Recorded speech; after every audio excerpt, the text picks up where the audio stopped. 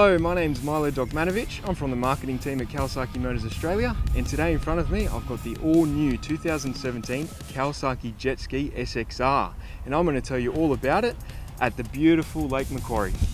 So the last stand-up jet ski that Kawasaki produced was in 2011. It was the 800 SXR, and with over 40 years of experience in the personal watercraft industry, this model in front of us embodies the latest in engine and hull design. So it goes without saying that we're super excited about this all new model. All right, let's get this jet ski in the water.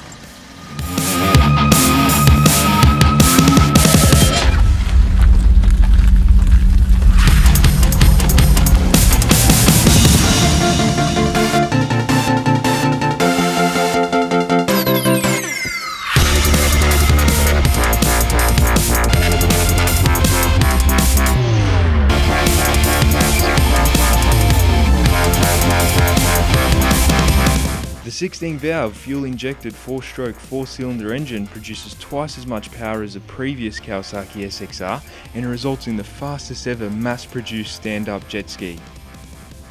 The engine was positioned as low and as far front as possible. This combined with the sponsons ensures high stability and clean turning performance. Sharp and sleek styling gives this jet ski a distinct Kawasaki look, but also evokes the capabilities of this high performance machine. Designed to house the larger engine, the longer, wider stand-up hull offers the best of both worlds. Agile handling and superb stability. This combination ensures the high performance required for racing while offering recreational riders a package they can handle with confidence.